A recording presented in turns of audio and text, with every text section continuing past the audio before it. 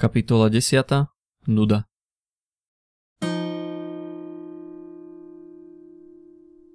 Ak by ste v tejto chvíli fajčili, pravdepodobne by ste na svoju cigaretu už dávno zabudli, pokiaľ by som vám ju zasa nepripomenul. Ďalší omyl spojený s fajčením je, že by to malo pomáhať zaháňať nudu. Nuda je duševný stav. Keď fajčíte, netočia sa vaše myšlienky stále okolo jednej témy. Fajčím cigaretu, fajčím cigaretu.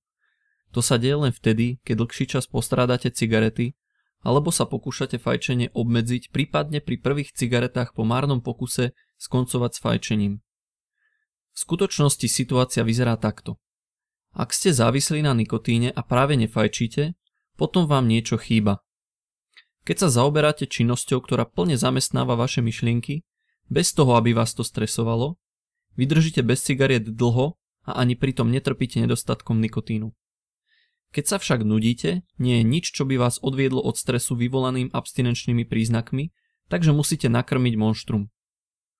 Pokiaľ momentálne bez akýchkoľvek opatrení slúžite svojej závislosti, to znamená, že sa pokúšate s fajčením prestať alebo ho obmedziť, potom si aj zapaľujete nevedome.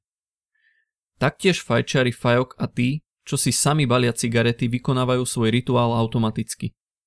Ak sa fajčiar pokúša spomenúť si na cigarety, ktoré cez deň vyfajčil, dokáže to len z časti, napríklad na prvú cigaretu alebo cigaretu po jedle.